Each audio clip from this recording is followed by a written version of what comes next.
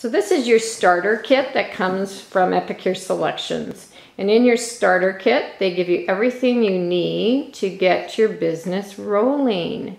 So this is, and there is a lot of stuff that comes in your starter kit.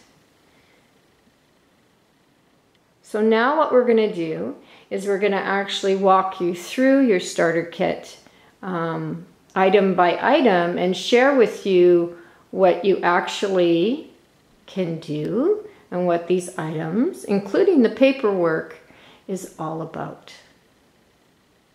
So let's start doing that.